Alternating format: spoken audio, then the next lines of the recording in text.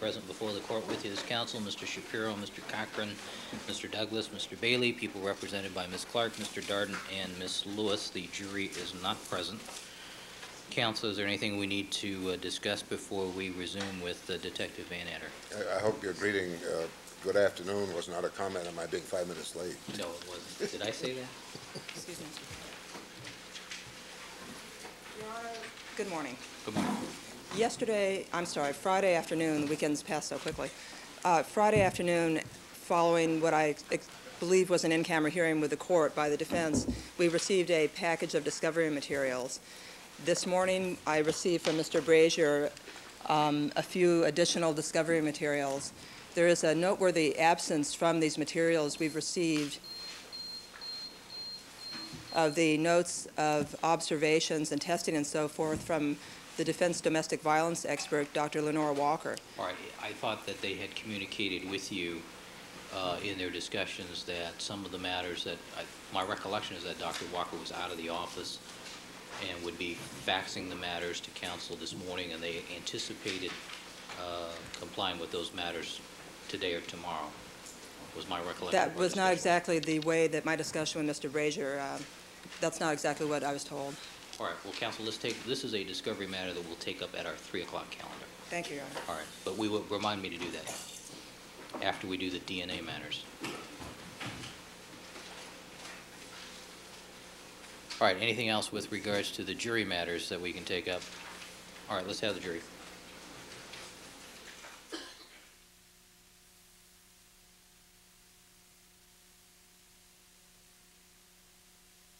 Joined by all the members of our jury panel. Good morning, ladies and gentlemen.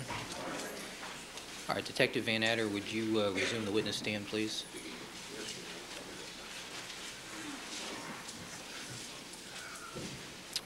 All right, good morning, Detective. Good morning, Your Honor. You're reminded you are still under oath. Mr. Darden, good morning, sir. Good morning. You may resume with your direct examination. Thank you, Your Honor. Good morning, ladies and gentlemen. Detective Vannatter, when we left off last, uh, last Friday, you described for us the the trail of blood that led you to the defendant. Is that correct? Yes, sir. And you also testified that you uh, believed that you had probable cause to arrest the defendant on June 13. Is that right? That's correct. Okay. And this term probable cause, what, what does that term mean? How would you define it? Probable cause is a strong and honest suspicion that would lead a reasonable person to believe that the suspect is involved in the crime that you're investigating. And you harbored such a strong and honest suspicion that day? That's correct, yes. But you also told us last week that you felt that you needed more before you could present the case to the DA's office. Is that correct? I wanted more, yes. And why? Why is that? Or oh,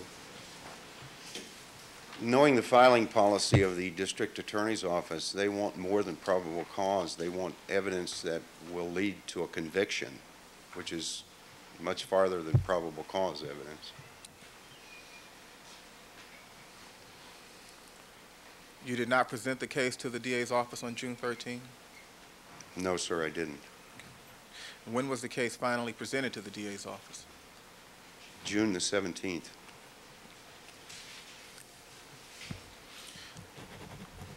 How many items of evidence, of physical, of, of physical evidence that is, were, were collected uh, in this case?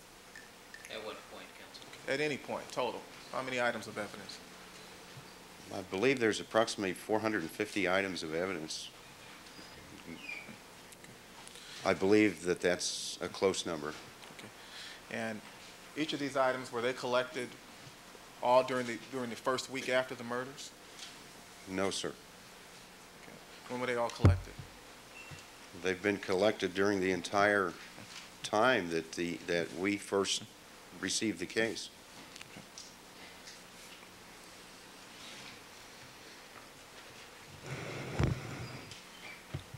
Never.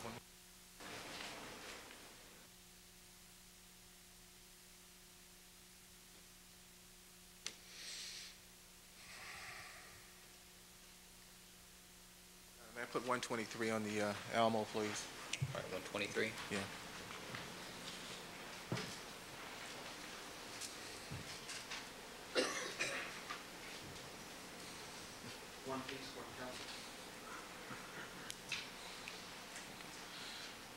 The detective showing you what has been marked as People's 123. I may the record reflect that Mr.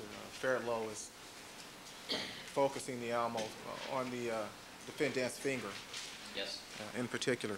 Uh, Is that the way the injury looked to you when you uh, first saw it on June 13th? Yes. Was it bleeding? It, it appeared to have dried blood around the edge, uh, around the edges of the wound, and it appeared to be seeping fluid, uh, not, not blood at that point. Okay. It wasn't dripping blood at that point? No. And what time of the day was it that you uh, took this photograph? Or had it taken, rather? I believe it was uh, between 2 and 2:30 in the afternoon. Yeah.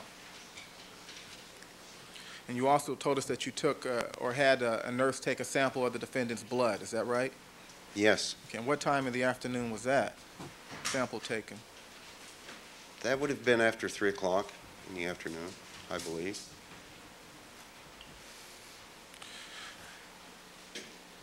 Where was the defendant when the blood sample was taken?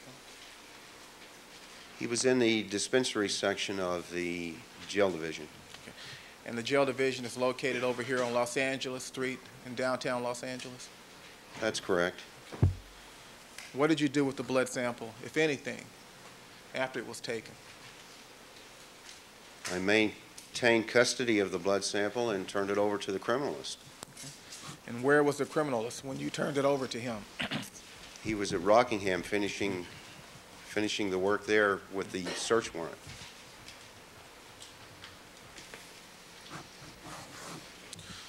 And so if I understand you correctly, then Detective, you took the defendant's blood sample out to Rockingham? Yes. And why did you take the sample to Rockingham? Well, I, I couldn't book it at that point. I didn't have any item numbers. I didn't have a DR number. I knew that the criminalist was at Rockingham. And as soon as the criminalist takes custody of a evidence item, essentially, I consider that booked. I knew he was there. I hand carried it for him for, to him for the chain of custody and to protect that piece of evidence. Okay. Now, you've used three terms that I'd like to discuss with you now, Detective. First of all, what is chain of custody? Chain of custody is to ensure that, uh, that at all times, we know who has control of the evidence, to maintain that, that control of the evidence, to know where it's going and what's going to happen to it. Okay. Well, is it wise to limit the number of persons that, that take control or possession of, uh, of evidence? Ex- Sustain. Phrase question. Uh, What benefit is there, if any, in limiting the number of persons who maintain control and custody of a particular piece of evidence? The benefit in limiting is to maintain the integrity of that piece of evidence. Could you have booked the evidence at, uh, at Parker Center? I could have booked it, but I didn't have, again, I didn't have a DR number. I didn't have a item number, and uh, if I would have done that, it would have been sitting there with no control over it. That's why I controlled it and carried it to the criminalist. Okay. Well, what is a DR number, Detective? DR number is a division of records number that's issued to all crimes. Each crime has an individual number. Okay. You mean it's a file number? That's a file number that identifies that incident, yes. Okay. Does the Simpson investigation have a file number or DR number? Excuse me. I assume so. Yes. Does the Simpson investigation have a DR number a file number? The Simpson investigation actually has two, one for each victim. Okay. And when, di- when were those numbers obtained, if you know? Yeah, I do know. I bought those numbers myself. The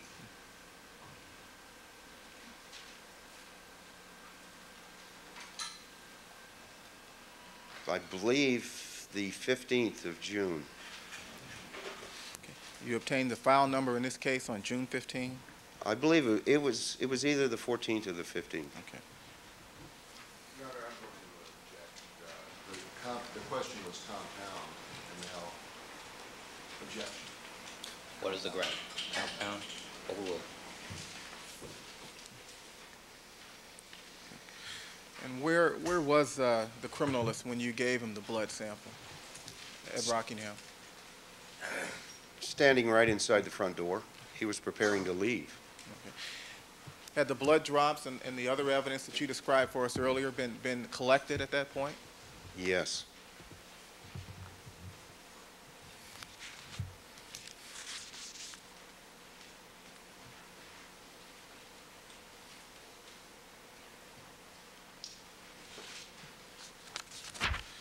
And the glove, the glove Detective Fuhrman showed you earlier that morning, had it been collected?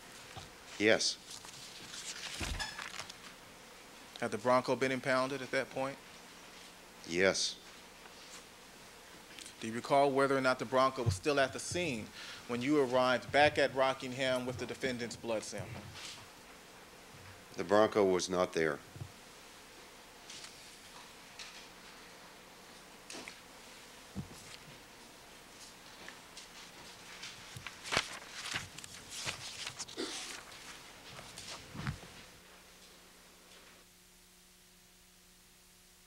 Uh, We have copied a close-up photograph of the uh, depiction just shown the jury, that is of the defendant's finger. May it be Right, marked, left people? I was about to say 123A, Thank you. Thank you, Your Honor. B.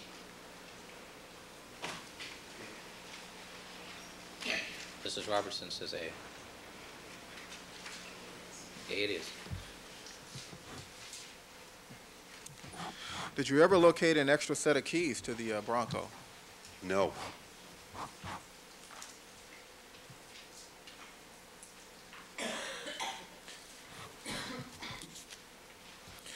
You told us Friday that you, that you had a key to the handcuffs that Officer Thompson placed on the defendant. Is that right? Yes. Did you give Officer Thompson your handcuffs so that he could handcuff the defendant? No. Well, how is it then that you had in your possession a key to the handcuffs? Handcuffs used by the Los Angeles Police Department have a universal key that every officer has a key to those handcuffs. So your key will fit Any other officer's handcuffs.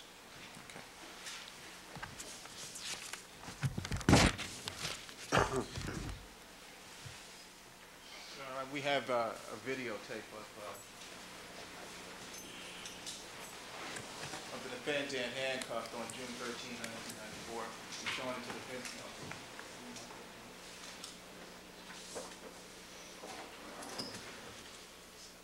I believe we marked it. All right, this is the uh, videotape that we uh, viewed previously. All right, is the matter submitted, Mr. Shapiro? Without, uh, any audio submitted. All right, Sorry, I didn't get Mr. Shapiro. audio. Without sound.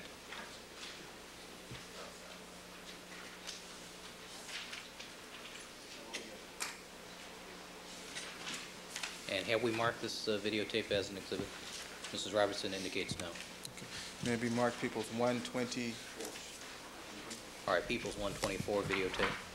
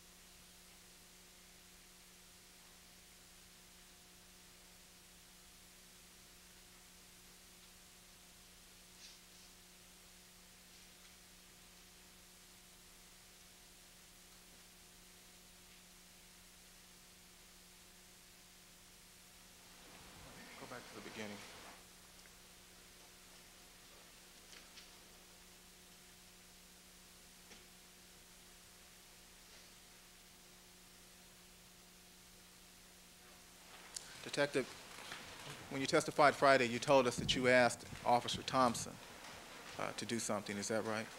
Yes. Okay. And what did you ask him to do? I asked him if, to detain Mr. Simpson at the front gate if he showed up at the location and not to let him enter the uh, residence. Now, you had a search warrant at that time, is that right? Yes. If you know, Detective, does the fact that you have a search warrant for the premises, uh, does that allow you uh, to prevent persons or other persons or civilians from entering the property to be searched? Yes, it was a secured crime scene. Did you ever tell Officer Thompson to handcuff Mr. Simpson? No. And where were you when you first saw Mr. Simpson handcuffed?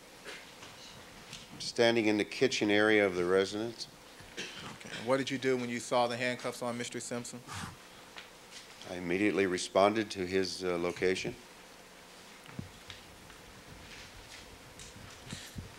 I'm going to replay the video uh, at a slower speed. I'm going to ask you to identify some of the persons you see in the video.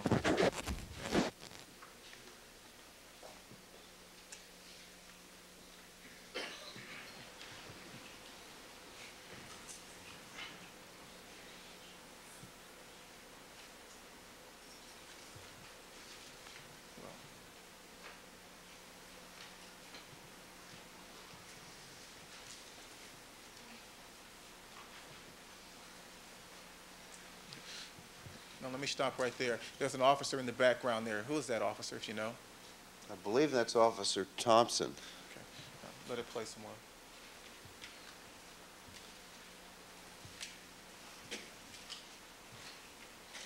Is Mr. Simpson handcuffed at this point? Yes. Okay. Now, stop there. And you're having a conversation with Mr. Simpson, is that right? Yes. Okay. Now, at this point, had you removed the handcuffs? No. Uh, You did not immediately take, uh, take the handcuffs off, Mr. Simpson? No, I didn't immediately. Okay. Well, How much time elapsed between your first contact with Mr. Simpson and your removal of the handcuffs? Very short time, uh, a couple of minutes maybe, two, three minutes. Okay. Is there some reason that you uh, delayed uh, that, uh, two to three minutes before taking the uh, handcuffs off, Mr. Simpson? I was explaining the situation to him, what was going on, and was awaiting his attorney's arrival there. You were expecting Mr. Weitzman to approach you and Mr. Simpson? Yes.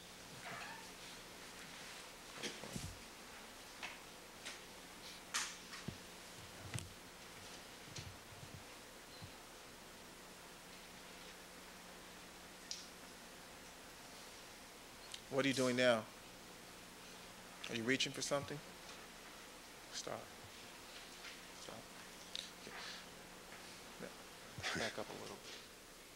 It looks like I'm putting my hand in my pocket, I would assume at that point. Well, I don't actually know at that point what I was doing. I may have been removing my keys. I don't know that for a fact. Let it play.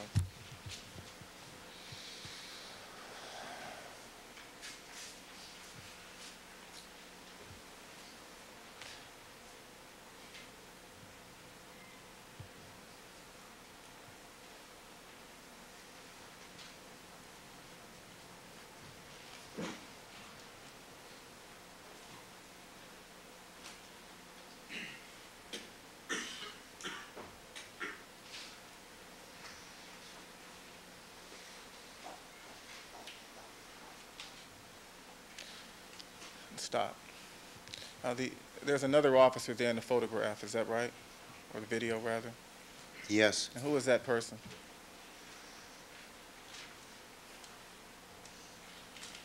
I believe that's Detective Brad Roberts. Let it play a little more until you see Robert's face. If you- Is that Detective Ro- Keep watching it. Yes, that's Detective Roberts. Okay. Let it play.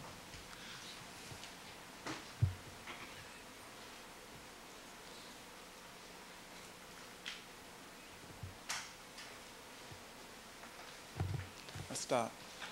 Now, is Detective Roberts holding something? It looks like it, yes. Okay, do you know what, what that is that he's holding, Detective? It looks like a notebook. I, I don't know for sure. Okay. That looks like a notebook to you, Detective?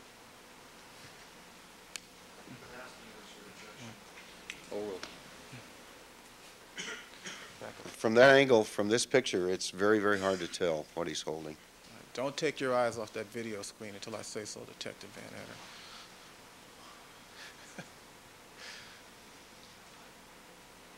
It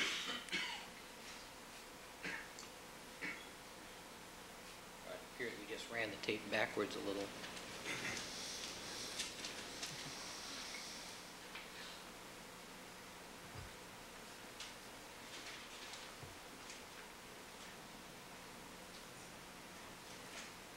Still look like a notebook in his left hand, Detective? No, sir, that looks like the travel bag that Mr. Simpson returned to the location with, Okay. Was that bag seized uh, by your detectives? by myself, yes. Okay. Continue, please. Now, someone else has joined you here, is that right? Yes. And who is that person? It would appear that it's Attorney Howard uh, Weitzman. Okay. Continue. Now, at this point, is Mr. Simpson still handcuffed? No. You removed the handcuffs? Yes.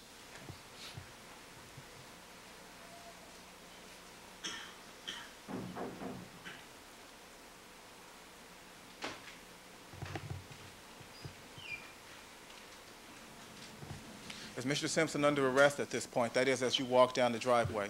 No. Is he free to leave? Yeah, he could have. Is that Officer Thompson there, the, the African-American officer? Yes.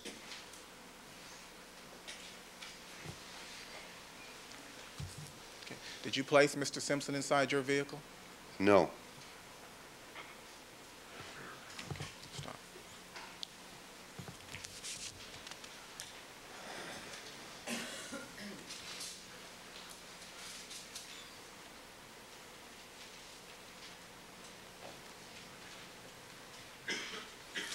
Heard Mr. Cochran refer to uh, a term, uh, rush to judgment, Detective. Yes, I've heard that. Did you rush to judgment in this case? No.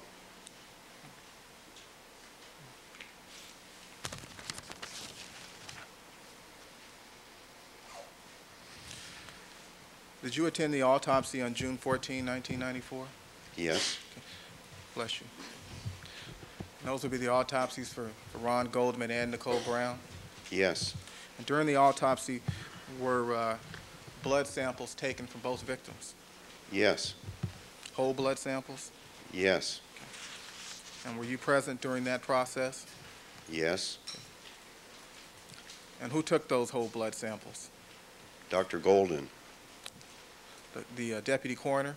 That's correct. And what did he do with the samples uh, after he took them, if you know? I know the procedure. He took control of them and uh, transferred them to the coroner's lab. Okay. Now, at some point, did you pick up those whole blood samples? Yes.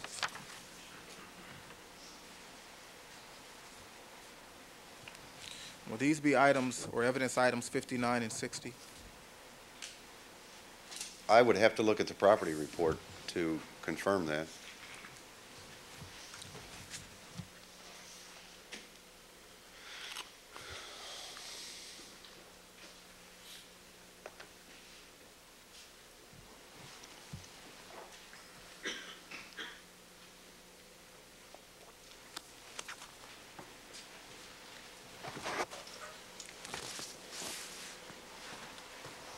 Please review your property reports, Detective.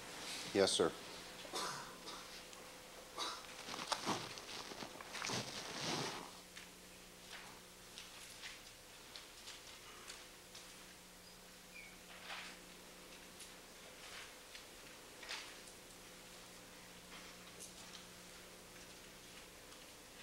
Yes, that would be item 59 and 60 of the property report. That's correct.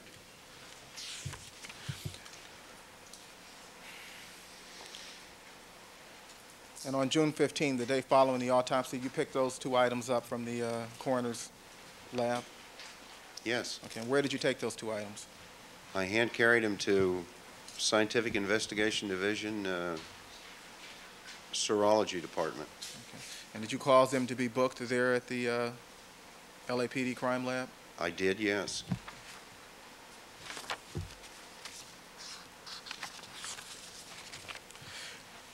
You testified earlier, Detective, that on the morning of June 13, that it took you approximately six minutes to drive from Bundy to Rockingham? I think I testified approximately five minutes. And since that date, since June 13, 1994, have you been part of any uh, attempt to uh, ascertain how long it would take to drive from Bundy to Rockingham? Yes. Your Honor, we have a video.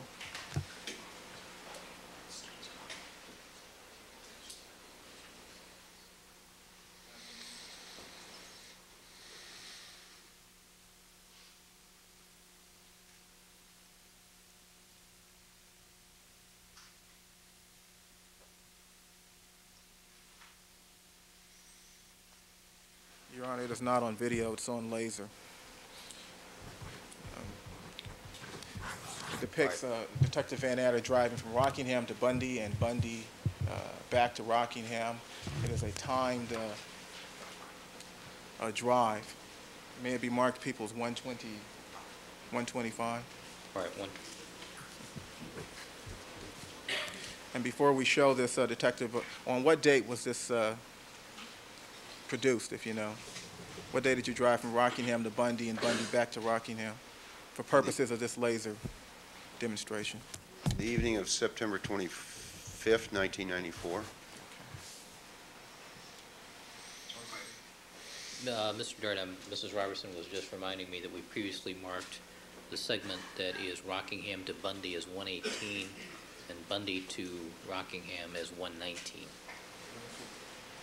This would be then uh, 119. And then 118. All right, proceed.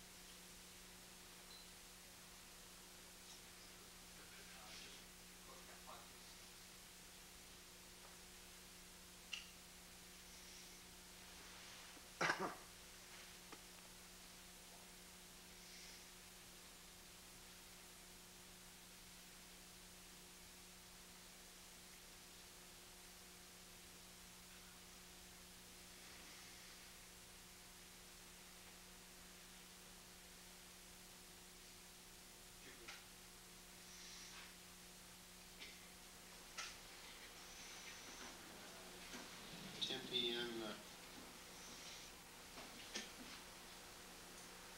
the audio.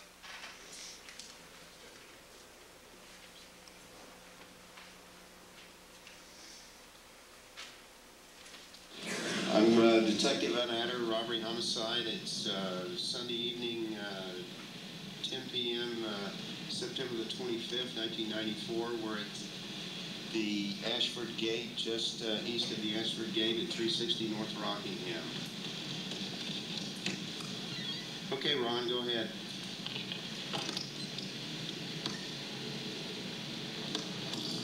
We're proceeding east on Ashford. approaching Cliffwood.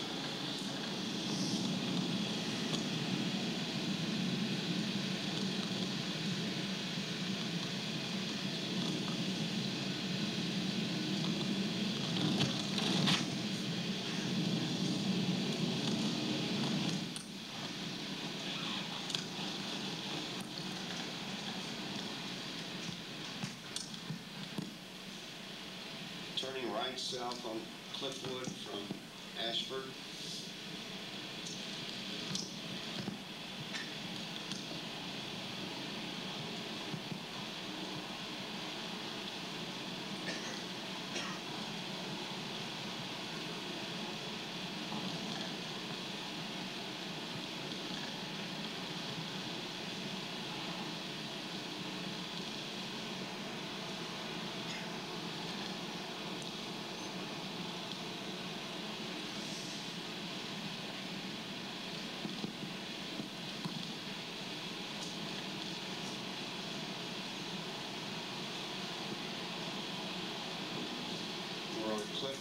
Approaching the signal at Sunset Boulevard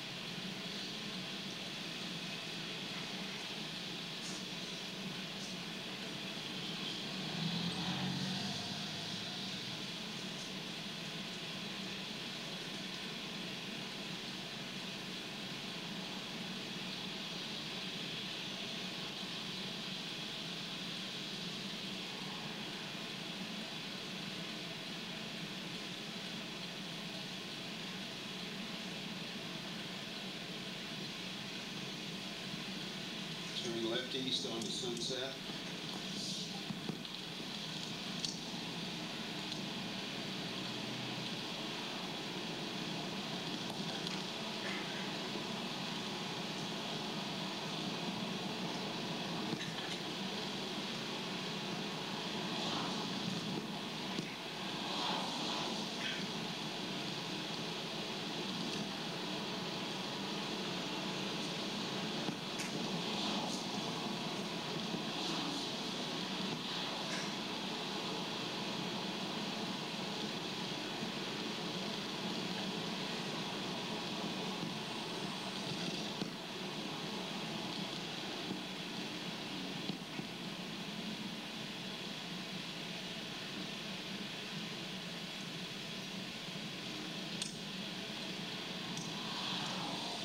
Turning right.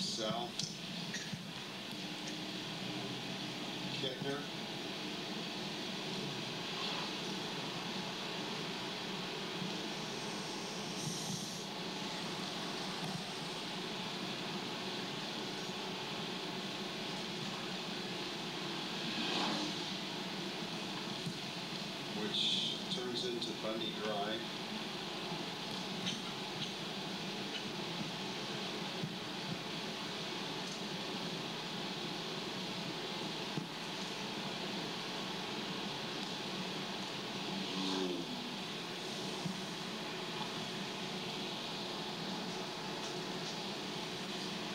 Approaching the intersection of Bundy and San Vicente.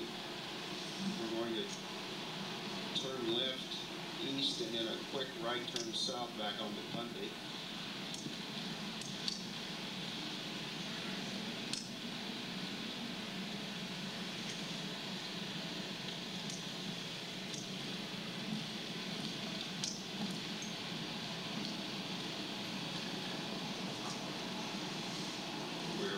The intersection of Bundy and Montana.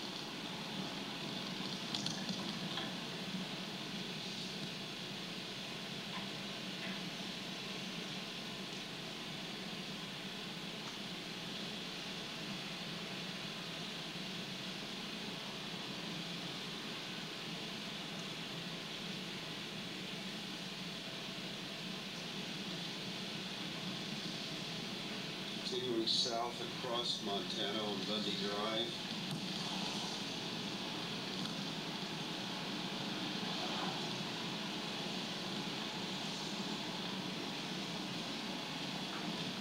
Passing the intersection of Gorham.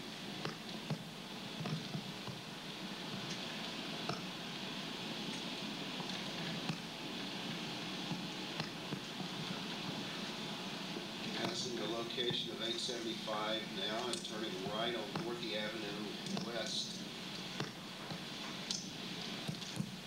To right north in the alley to the rear of 875 Bundy.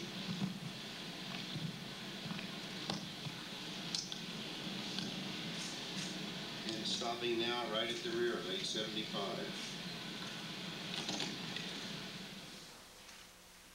Now, Detective. In producing this video, did you honor the, uh, the traffic laws? Yes, I did. You honor the speed limit? Yes, sir. What was your approximate speed? Never over thirty-five miles an hour. I noticed in the video that you stopped on a couple of occasions, is that right? Yes, Why did you stop? for traffic lights.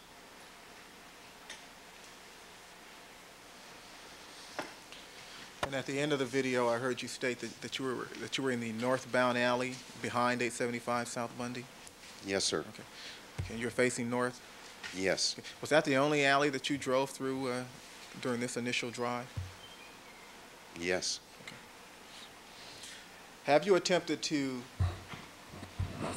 drive from Rockingham to Bundy at a speed higher than 35 miles an hour? no, I have not. And have you attempted to time the drive from Rockingham to Bundy under circumstances where you, where you haven't had to stop for stoplights? No, sir. Now, are you suggesting to us that this is the only route from Bundy to Rockingham, or from Rockingham to Bundy, rather? No, that's one of several. Okay. Do you know the exact route the defendant took that night? Objection, Your Honor, calls for speculation. Sustain.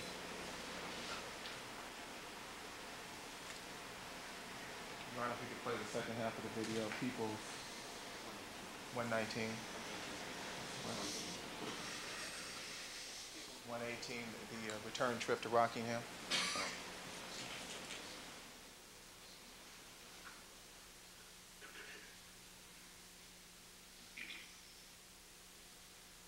I'm uh, Detective Van Adder again. It's 10:15 PM, uh, September 25th, 1994, at the rear of 875 South Bundy, starting north in the alley to the rear.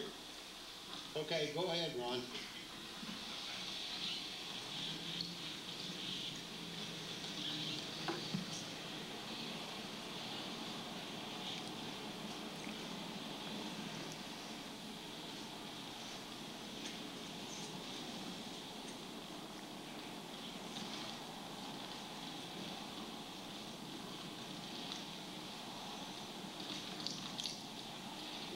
Approaching Montana Avenue where we will turn right east.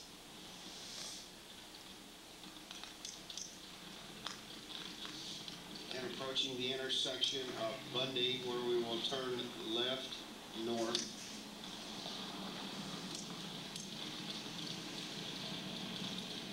We are now headed north on Bundy Drive.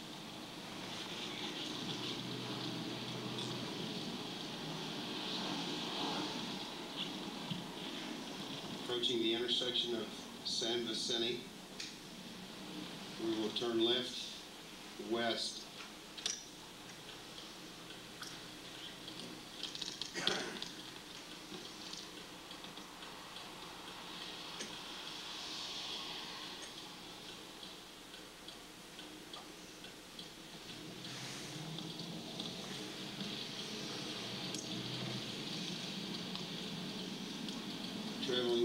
San Vicente and making a turn right north on Bundy Drive.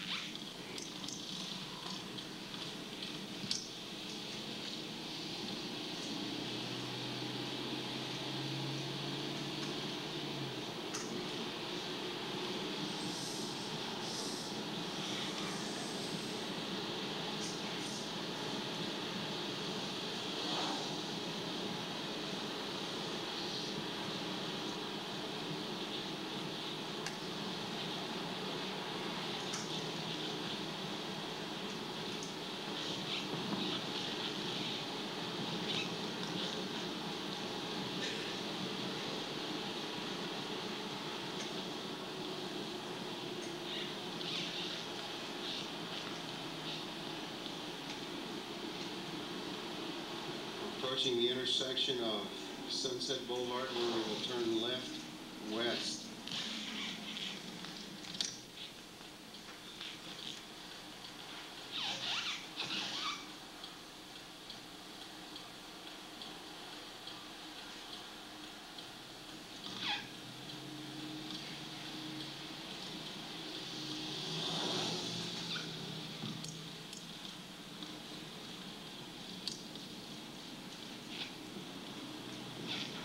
Proceeding west on Sunset Boulevard.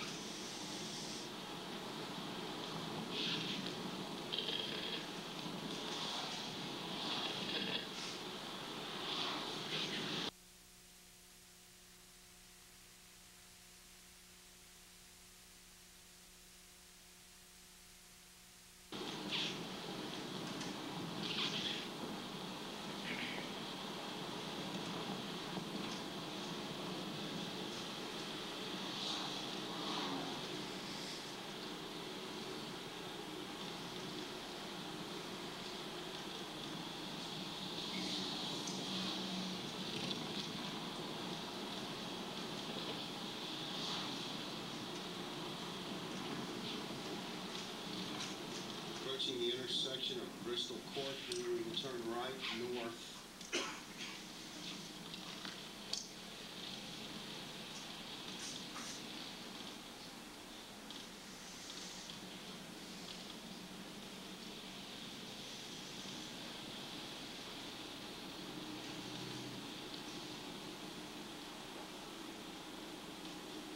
Approaching the intersection of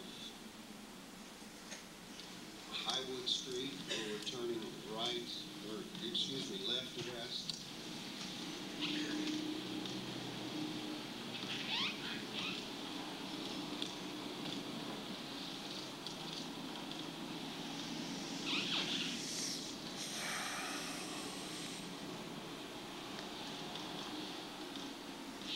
Approaching the intersection of Rockingham Avenue,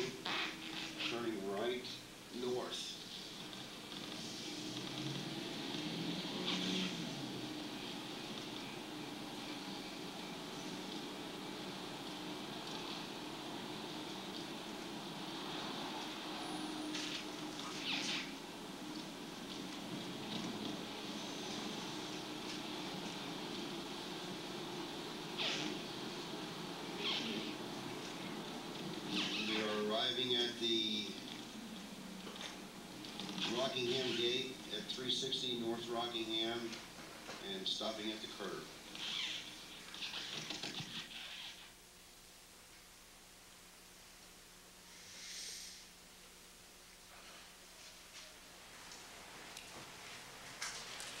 So Detective, in the uh, video here, it took you five minutes and 22 seconds to drive from Bundy to Rockingham, Yes, that was the timing of it. but it took you five minutes and uh, 55 seconds to drive from Rockingham to to Bundy. Is that right, Yes, or thereabouts? There's a variation in the time, is that right? I would say so, yes.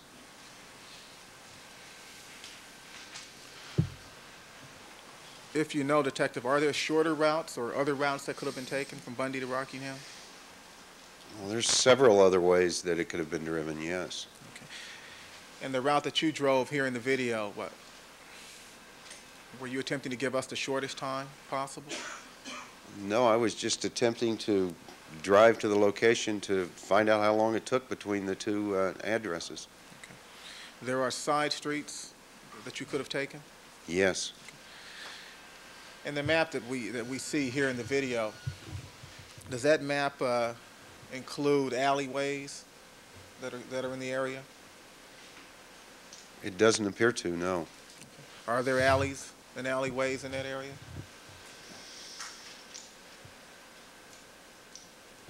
Well, I'm sure there are. I don't specifically recall them, but I'm sure there are some alleys there, yes.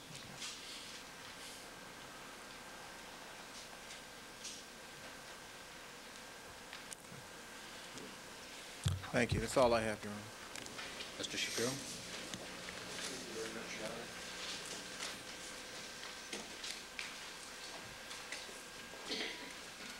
Good afternoon, ladies and gentlemen of the jury. Good afternoon, Detective. Good morning, Mr. Shapiro.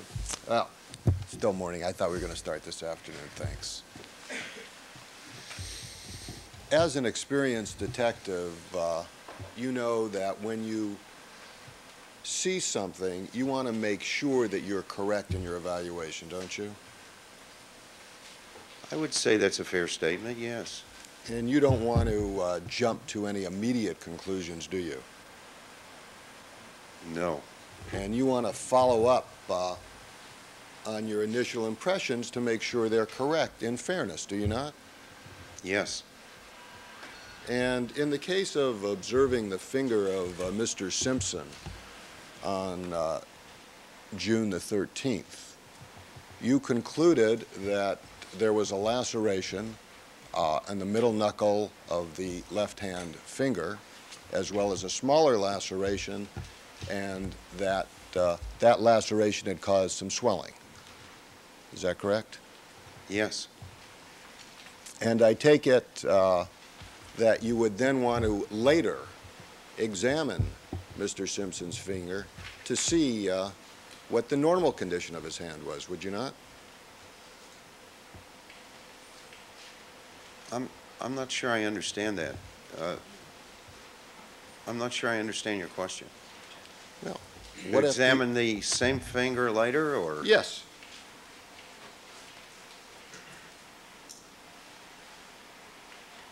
Well, I don't think it would be the same, because I think the injury would be healed at a later date. Right, so you'd want to look at it and see if the swelling had gone down and returned to what you believed would be his normal condition, correct? I never did that. Would you like to do that? I don't think I need to. What if his finger uh, was always swollen due to uh, a medical condition and not due to any laceration? Would that concern you?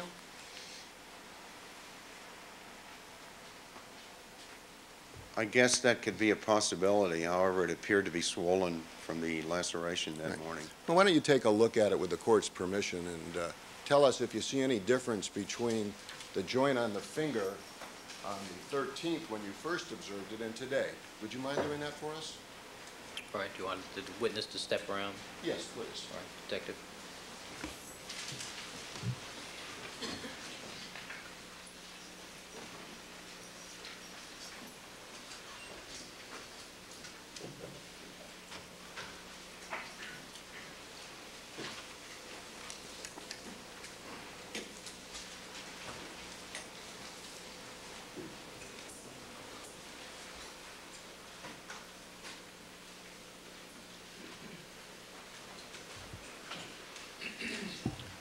Your Honor, before I proceed with further questions, may uh, Mr. Simpson show his finger to the jury before we do further examination? Thank you. Mr. Simpson?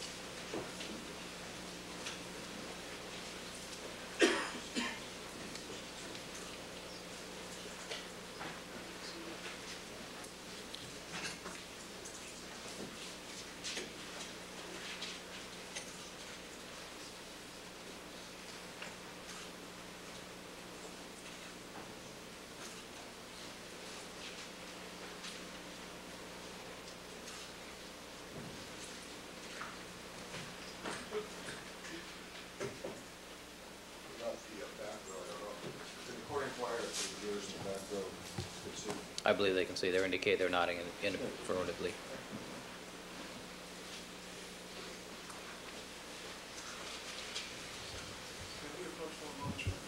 With the? Without the, uh,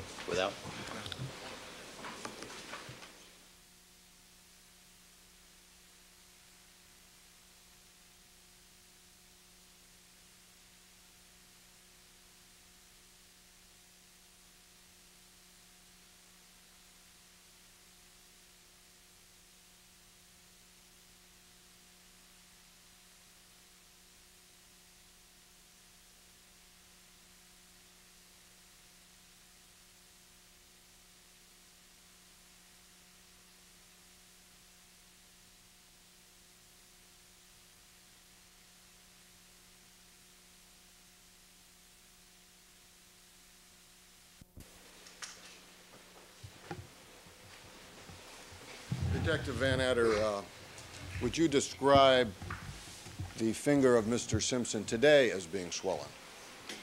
It didn't appear swollen to me, no.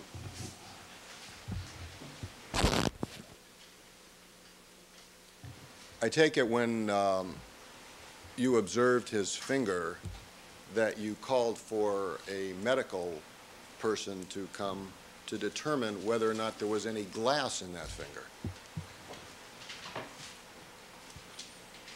I had his finger examined, yes. Was it by a doctor? No, it was by a registered nurse. Was it by a pathologist? No, sir. Do you know the qualifications of the nurse to determine uh, the cause of an injury, a traumatic injury? No, sir. Did you inquire? No, sir. Do you think that might be important? It appeared he had an injury on his left hand. Well, you had information that he had injured himself with a piece of cut glass, did you not? Objection, Your Honor. Sustained. Assumes facts not in evidence. Did you have information that he had cut himself with a piece of cut glass? Objection, Your Honor. Call for hearsay. Sustained. Did you have information from uh, police departments in Chicago? Did I- Calls for hearsay, Your Honor. Did he have information from, no, overruled. That question you can answer. And did that information include a thorough search of the room Mr. Simpson was in before he had left? Objection. Calls for hearsay. All right, we're in that territory now, sustained. Did you have any uh, reference whatsoever about uh, the cause of the injury at the time you were examining Mr. Simpson? Overruled. Yes or no? Could you ask that again, please? Did I have any reference? Yes. I had information, yes. And did that information cause you to consider that the injury may have been caused by being cut with a piece of glass? Same. Sustained.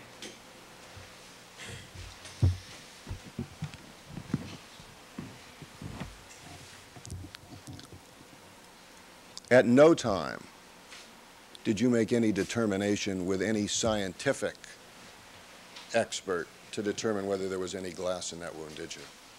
No, sir. Since the time that uh, you've become a police officer 26 years ago, I would imagine that there have been drastic changes in uh, scientific evidence in criminal cases. Yeah, there's been changes, yes. Would you describe them as drastic?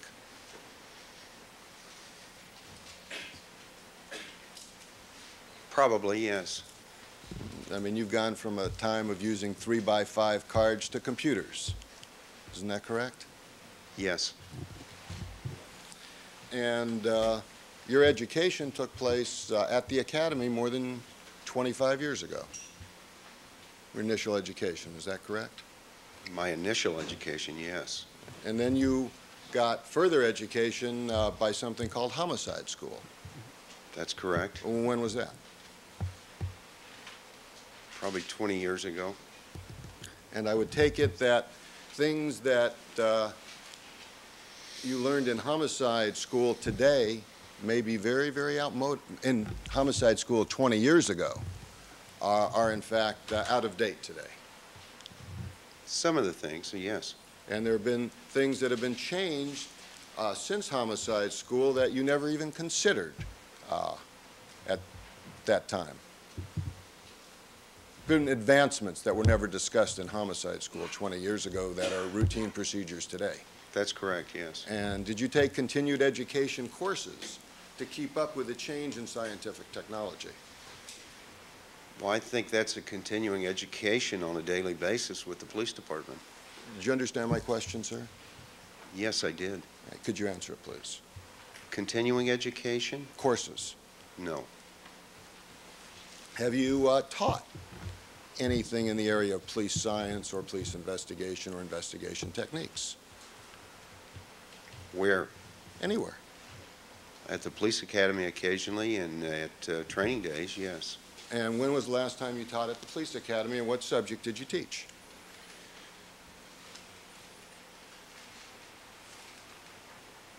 Probably 10 years ago, and it was officer-involved shootings. And prior to that, when did you uh, teach before that at the police academy, what subject did you teach? Well, I, I used to teach uh,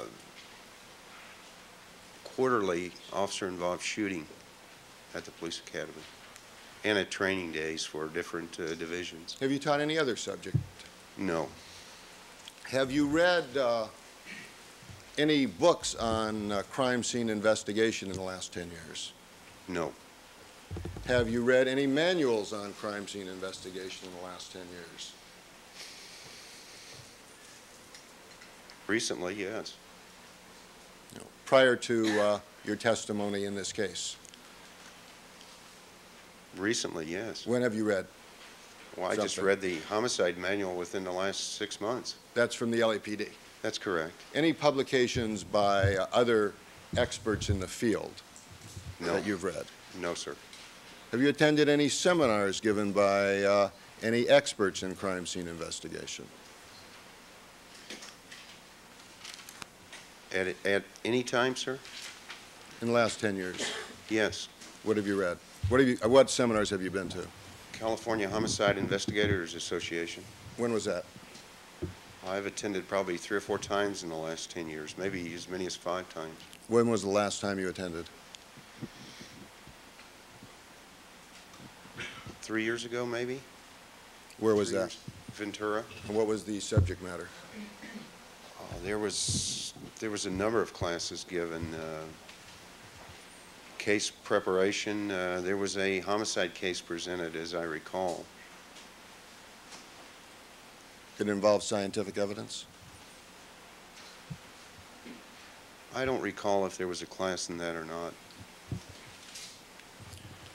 Would you say that uh, you are one of the old-school type of detectives?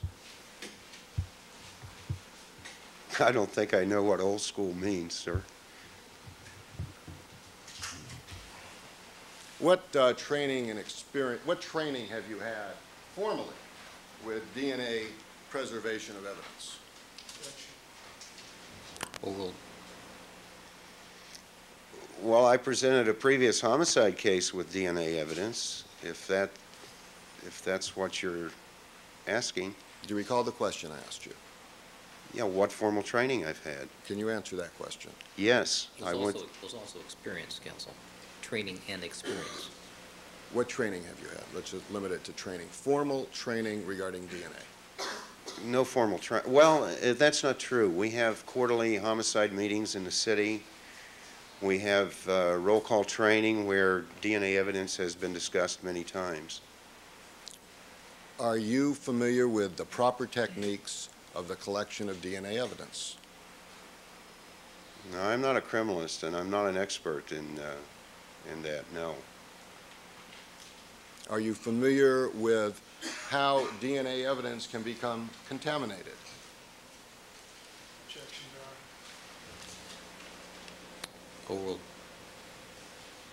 Well, I think I'm familiar with the way any kind of evidence could be contaminated. Is there a greater susceptibility for contamination of potential DNA evidence than other types of evidence? Objection, Your Honor. What's the basis? Beyond the witness's expertise. Overruled. Is there more of a susceptibility for DNA-type evidence to be contaminated? Yes. Well, I think, I think there would be a lot of variables in that. I think it would, it would depend on where the DNA evidence is, um, the circumstances that it's found, uh, and so on and so forth. Uh, That possibility, I think, would exist with any evidence. It could be contaminated. How can DNA evidence become contaminated? All right, we're beyond the scope of the direct examination at this point.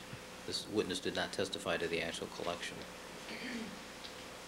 He is a homicide investigator. He is the lead investigator, so there's some Ra- ra- ra- Rather than take up jury time, if we may approach the bench at the break then. All right. And I'll go into Fine. some, some other questions. Thank you very much, Your Honor.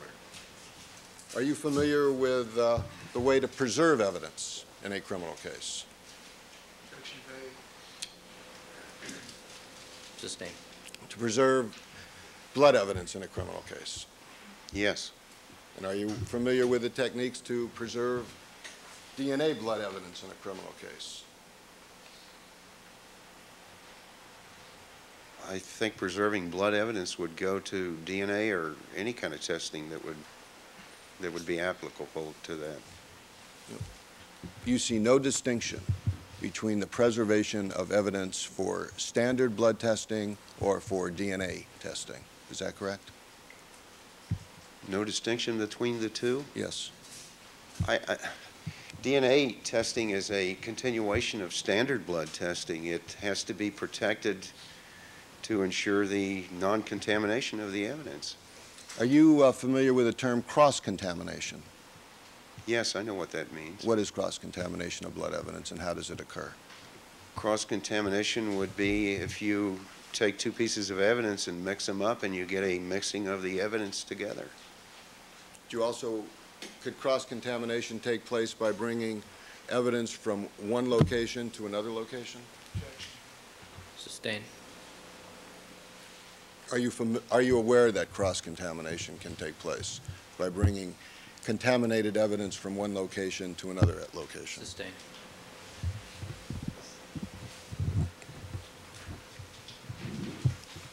In your uh, role as the lead investigator of this case, are you the one who is ultimately responsible for all aspects of this investigation? Myself and my partner, yes. And everybody who does something regarding investigation works under you or under your direction? I would say that's a fair statement, yes. And the people that you want working under you or at your direction are people that you know are capable of doing the job correctly. Isn't that correct? People that are sent to the crime scene, I have no control over. Uh, I would assume people that are requested and sent there are trained personnel, yes. And after you take over, do you have the ability to request your own backup group of people to help in your investigation? Backup group for what purpose? I- Do you do- you do all the investigation yourself, or do you have people help you? No, I have people help me. Do you have any input in who those people are going to be? Sometimes, not all times. And in a case that involves something that's high profile, you want to make sure that the best investigation possible can be done. Isn't that correct? I try to do that in all cases. But uh, in a case where there's going to be the media paying a lot of attention to you, you have additional concerns, do you not?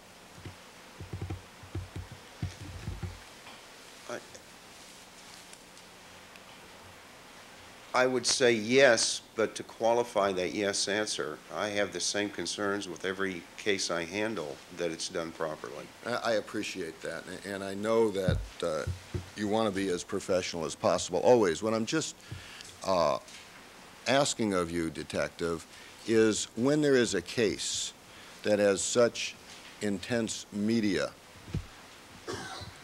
interest, isn't there a desire on your part to make sure that the absolute ultimate best that can be done will be done? Yes, And in that regard, the team that you put together that are going to aid you are people that you would want to have faith and trust in. Objection. What's the basis? Since that's not enough, so we put the team together. well, I, I would, I would hope that they would be qualified personnel, yes. So, and it was no secret this was a high-profile case when you got the call, was it? It turned out to be very ho- high profile, yes. But you knew immediately that it was. I didn't think it would reach the parameters that it has reached, but yes, I knew it was going to be high profile. And you knew it was going to be beyond most of the cases you ever handled in your career, didn't you? Immediately.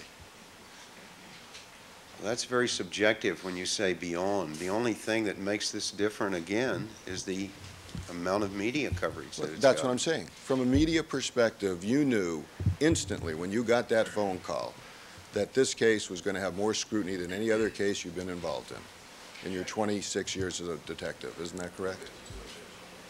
Oh, no, I didn't know that immediately. I knew it later in the day, yes.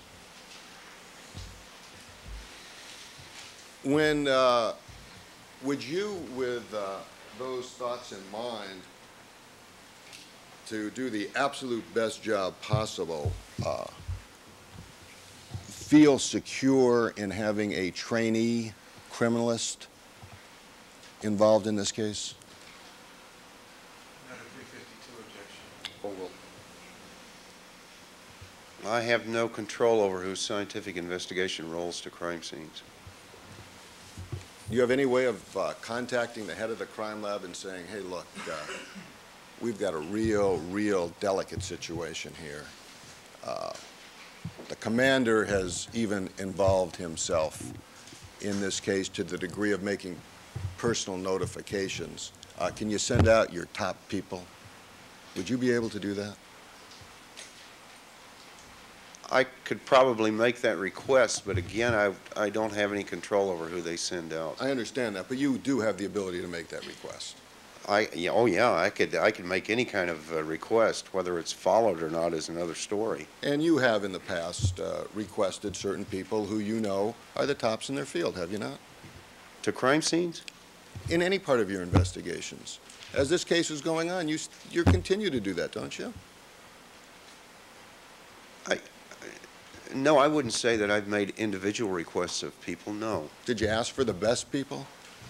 I wouldn't say I've done that. I make requests through uh, normal channels.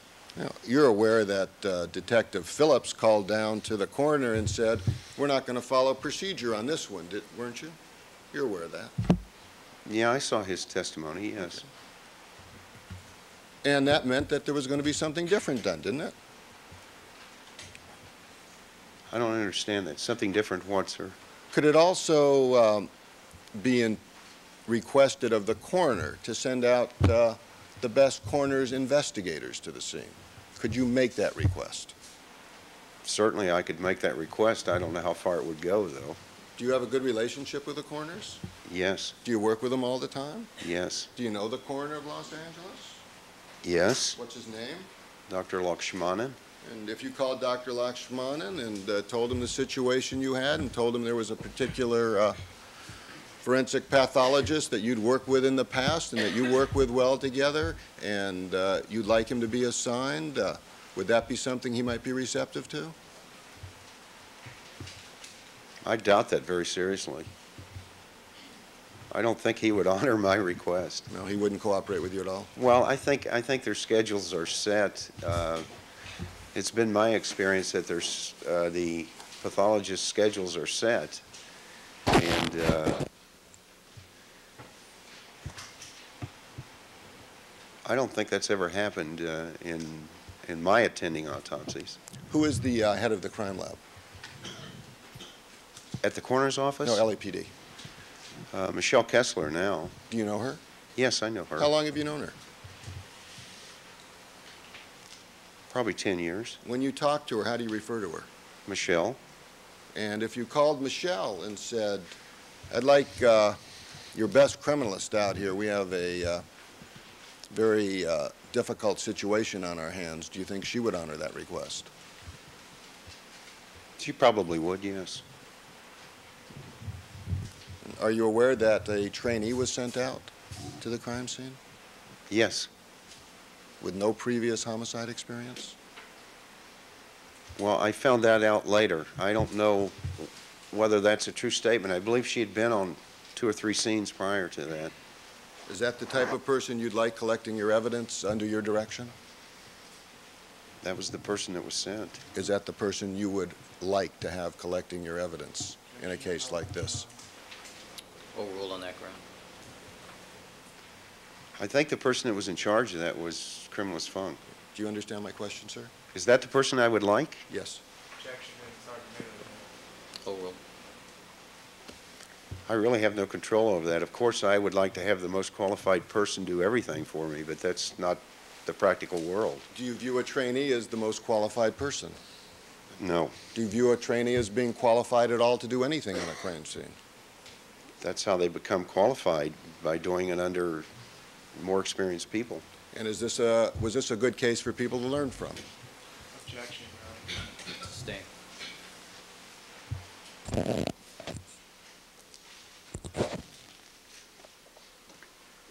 In um, conducting, in conducting this investigation, uh, you've had access to many other law enforcement agencies, have you not? That's vague, Your Honor. Sustain. Have you dealt, have you dealt with other law enforcement agencies to aid you in the investigation of the homicides? Yes, Have you dealt, dealt with Interpol? no, Has Interpol participated at all in this case? not to my knowledge. You haven't seen any reports generated from Interpol? I have not. And you're the lead detective? One of the lead detectives, And, and all of the reports that come into this case come through you? No, that's not true. I would take it you'd want to see the reports that come in this case from other uh, police agencies, would you not? Yes, And have you done that? I've seen everything that's come to our office, yes. And so to your knowledge, nothing has come in from Interpol? I don't recall anything from Interpol. Has any investigation taken place uh, in Europe on this case?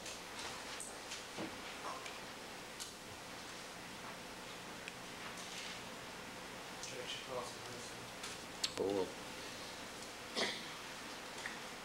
Yes, Has any uh, investigation in this take, in this case taken place in Canada?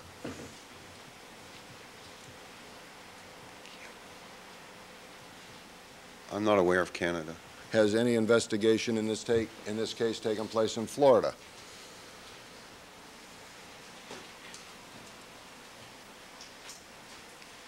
Yes, Has any investigation in this case taken place in New York? yes, Has any investigation in this case taken place in uh, Arizona?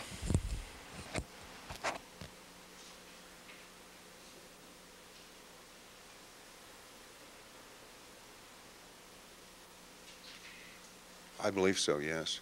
What other states have uh, been involved in the investigation of this case, to your knowledge? Connecticut,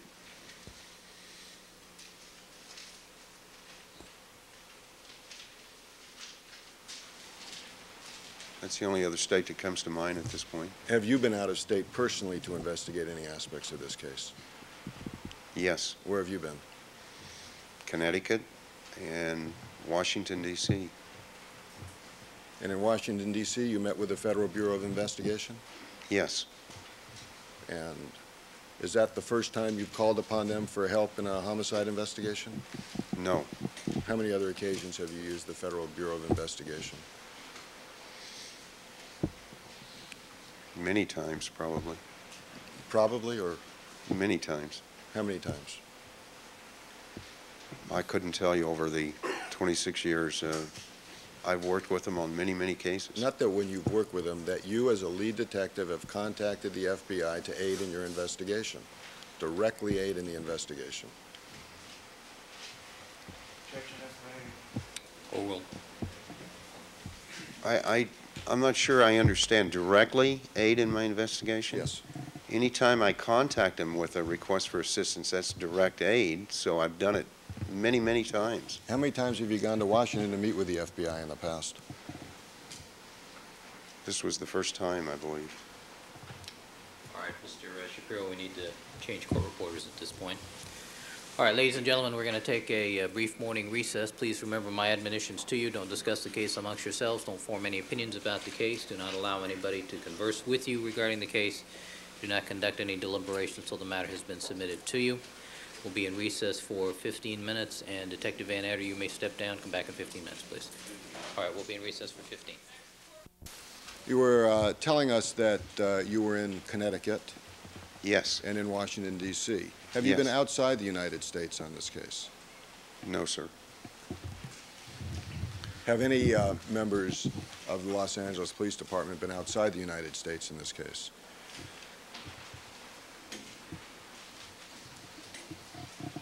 I believe they were outside the United States on a companion case, not this case. Have uh, any members of the Los Angeles Police Department been to any other states than the states that you have mentioned?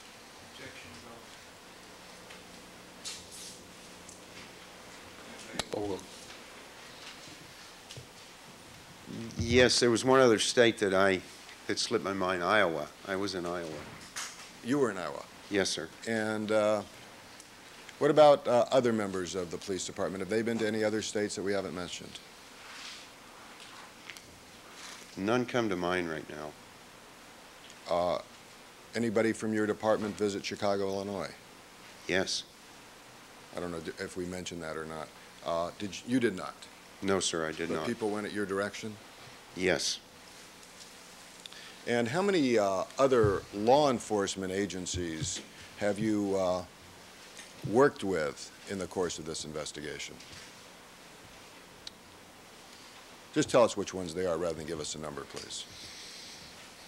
Fairfield, Connecticut, uh, Fairfield, Iowa, the FBI, When you say Fairfield, Connecticut, that's the police department or the Police sheriff's? Department, yes. Okay. Police Department in both cities. Uh, The Federal Bureau of Investigation.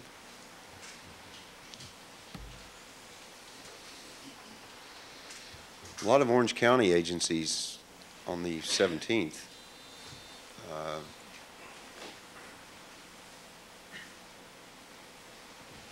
Department of Justice, Department of Justice for the United States or for the state of California? United States, and the state of California. And I, I, I just can't call to mind anymore at this point. Chicago Police Department, Yes, Florida Police Department, I don't know if that was on this case or the companion case that they worked with the department down but related to, at least related to this. to Related, as- yes. Related to some aspects of All right, this case. Excuse me, gentlemen. Thank you, Your Honor. You're both old pros, you're driving the court reporter nuts. Let him finish the question, let him finish the answer. I apologize, Your Your Honor.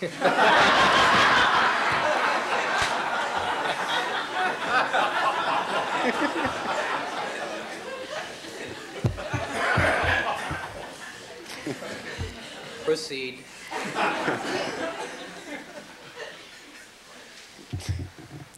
In addition to uh, dealing with, uh, well, uh, what did you do with the Department of Justice for the United States? What role did they play in this case? They helped me and my partner in a polygraph examination that we did. Of whom? Objection. Sustained.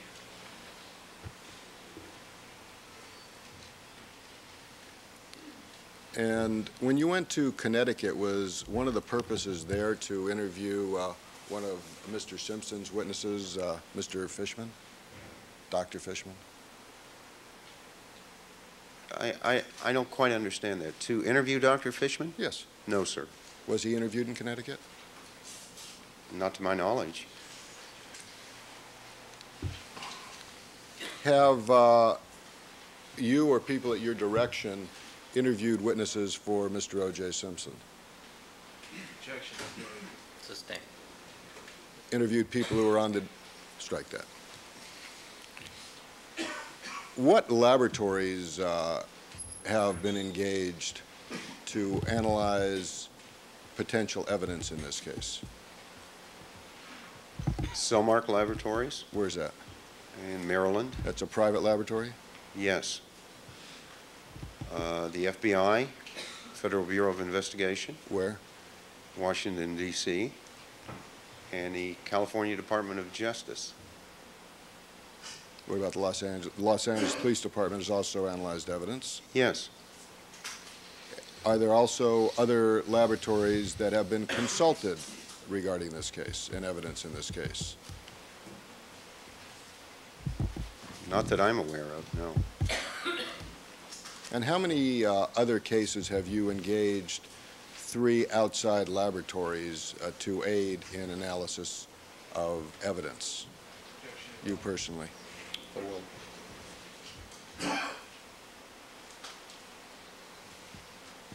I haven't personally done any. In how many other cases have you personally engaged the Department of Justice of the United States to aid in your investigation? Probably, probably quite a few. Probably or certainly? Well, over the, over the years, I have worked with federal agencies a lot on cases. Uh, I couldn't give you an exact number. My question is particularly the Department of Justice. On how many occasions have you personally, con- you personally contacted them for an investigation you were the lead investigator on? Well, I didn't personally contact them this time. Would you say that's a rare occurrence?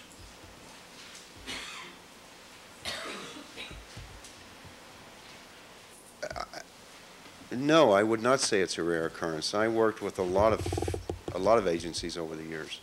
How many police officers from the Los Angeles Police Department have been engaged at one time or another in some aspect of this case?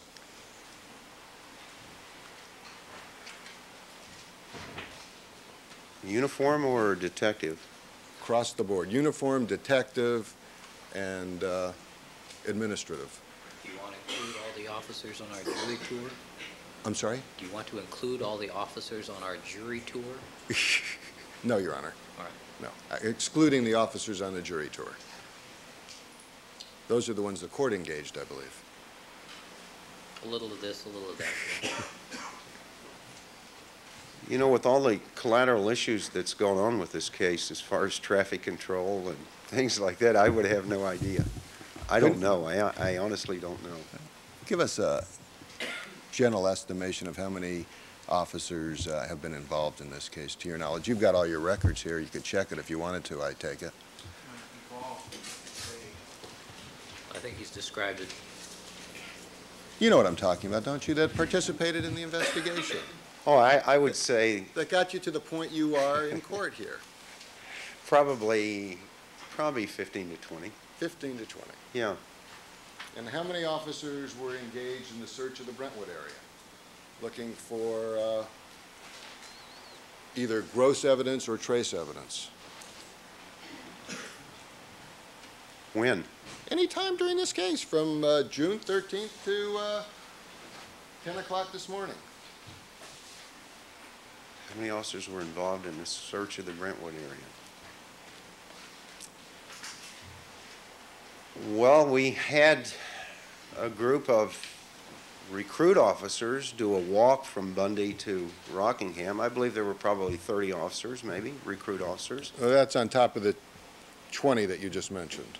Well, these people are not involved in all stages. These are, No, no, I didn't, no. Let me, let me make my question clear. Okay, let, let him finish his answer. I'm sorry, I apologize to you, sir. that's, that's quite all right, Mr. Shapiro. There's a lot of collateral issues that's happened where we've used officers from other divisions or requested help at different times, and they would be involved for one aspect, and that would end the, their involvement in it. That's my question. Involved for any aspect whatsoever from June 13th, 1994 to this morning, how many members of the Los Angeles Police Department have been involved in any aspect of this case? I think I answered that before. I don't know. Can you give us an estimate? I couldn't even give you a good estimate. I don't know. Would it exceed 100?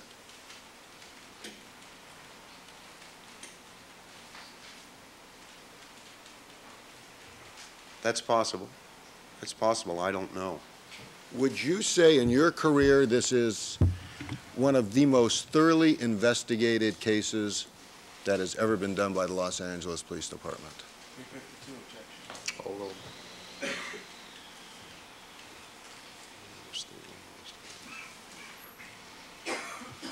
No, I wouldn't say that. I would say it ranks up there with a lot of cases. A lot of cases have been thoroughly investigated. Is there anything that you wanted done in this case that hasn't been done because of lack of resources or manpower? No. Is there any agency in the United States that you would like assistance for in this case that has refused to give you assistance? Not to my knowledge. Is there any agency in the world that you would seek assistance from who hasn't given you assistance? Not to my knowledge. Have you conducted the most thorough search that you could as a professional to look for the murder weapon in this case? Yes. Have you found it? No, I have not. Have you found any weapons that are consistent with the injuries on either Nicole Simpson or Ronald Goldman? No, I have not. Have you found any knives in the area of the Rockingham address? Objection, Yes, with the court order.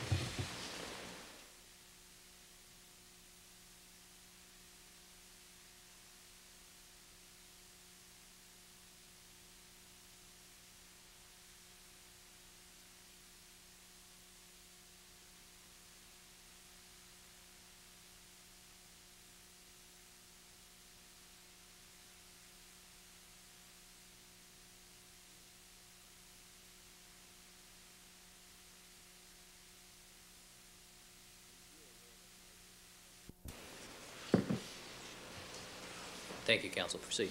Are, you're aware that a knife was recovered near the Rockingham address, are you not? Yes, And that knife had blood on it? that's what I was told, yes. And that blood came back a type B blood? Objection, Sustained. Do you know if that blood came back as the blood type of an individual who is not a person who's a defendant in this case? Sustained.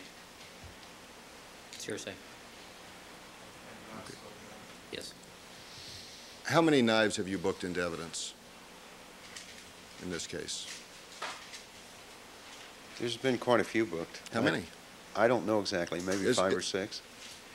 Isn't that an important thing to know, how many knives are booked in this case? Well, sir, there's been over, I think, around 450 items of evidence booked, and uh, it's hard to keep, keep up with all of it. I'll bet it is, but you keep lists for that, don't you? Yes, sir, we do. And you reviewed your records before you came here to testify, didn't you? I've looked through them, yes. You just looked through them? That's all. For this testimony, you just perused your uh, records before you got on the witness stand to testify? That's correct. Recommended, Your Honor. Objection. And will stand. Do you need some more time to prepare yourself for cross-examination? That is sustained. I'm just being courteous. Motion is strike, Your Honor. Proceed, counsel.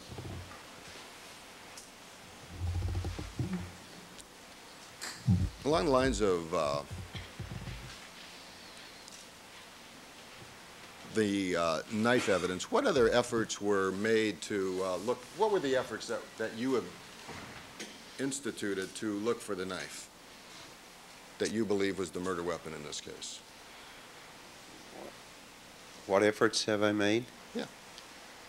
Well, a search warrant was obtained, and the, Mr. Simpson's residence was searched, as well as the grounds, How many times? twice. A walkthrough search was done from Bundy to uh, Rockingham by several uh, recruit officers, where we were searching the streets, uh, shrubbery, uh, the storm drains, uh, so on and so forth. Would you describe how that effort uh, was mounted and what instructions were given to the recruits? How it was mounted, Yes. we requested through the Los Angeles Police Academy for uh, a number of recruit officers to assist us in doing a walkthrough between Bundy and Rockingham. We instructed the, the recruit officers th- to look for any blood evidence, any clothing that may contain blood, any weapons that may contain blood, or anything at all that appeared to be out of the ordinary or suspicious. Are you familiar with the term grid? Yes, What is, a grid is a way to map out certain areas to be searched, to make sure you don't miss anything, isn't that correct? that's correct, And yes. that's a very basic uh, investigative technique, is it not? Yes, sir, that's correct. And I take it that you sat down with his recruits with a grid, so the areas that you were interested in between Bundy and Rockingham could be thoroughly searched, is that correct? No, the way it was done is the, uh, the area was set out in blocks. We had groups with a detective in charge of each group, And, well, essentially, it would be a grid because we did it by blocks. We didn't actually grid it, but we set it out from a map by blocks, and they were searched. How many different blocks were searched? I, I can't tell you exactly. Do you have a diagram of the blocks that were searched? I believe it's contained in the murder book, yes. Uh, Would you, uh, would it take you long to locate that diagram? If it would, we'll wait. I don't want Uh, to interrupt. It, yeah, it may, because I don't know which book it's in at this point. Maybe your partner's here, maybe he can help us uh, Okay. uh, find that so we can go on. How many uh, detectives were there for each group?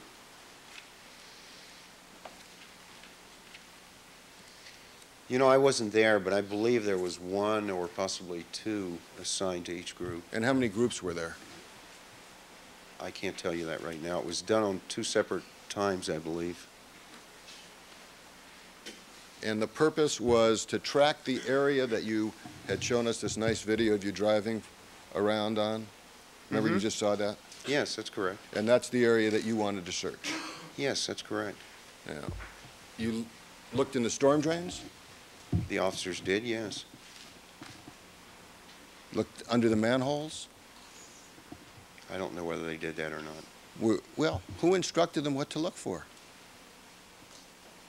The And where to look? information was relayed from us to the detectives that was running the operation. What did you, so you're in charge, you told us that.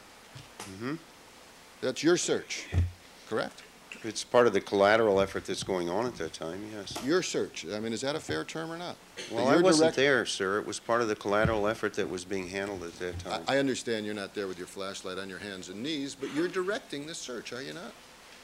Directing an ex parte, yes. I guess, I guess you could say that, yes. Well, you're the one who called, it was your idea to do the search, wasn't it? Well, it was, it was a group idea between our supervisor and myself, my partner, our captain. uh, It was uh, discussed, and uh, yes, it was done. So this is a pretty high-level decision. I, what do you mean, high level? to, well, let me go on. If you don't understand that, let's uh, go to something else. Mr. Shapiro, the the gratuitous comments aren't necessary. Thank you, I'm sorry, Your Honor. This search, as to what you were going to look for, did you tell somebody what you wanted to look for? Yes, as I told you before. Okay. And did you tell them where you wanted the people to look for this? Yes, Okay, where did you tell them you wanted them to look? I told him I wanted the possible routes, there's more than one possible route walked. I wanted the shrubbery checked, I wanted the lawns checked, I wanted the streets checked, and I wanted the drains checked. What about the uh, gutters in houses? No, What about rooftops? no, Why not? because I don't have the manpower to do something like that over a large area like that. Did you ask? No, I didn't ask.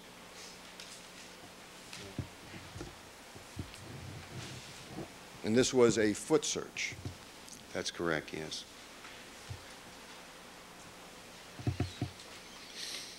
And nothing uh, relating to what you would consider a murder weapon was found, That's correct. but weapons were found.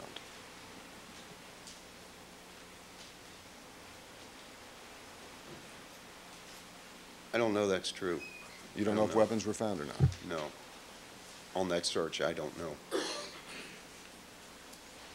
Were any weapons ever brought to your attention uh, in that area that contained the blood of someone other than O.J. Simpson, Nicole Brown, or Ronald Goldman? Sustain. I prefer Mr. Shapiro. Sure.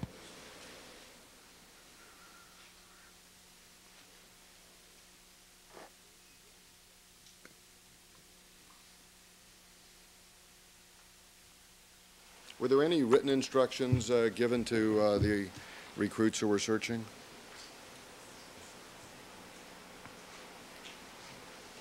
I don't know that for sure. I wasn't there. Let me uh, approach with an exhibit that has the full, this appears to be a map of the area.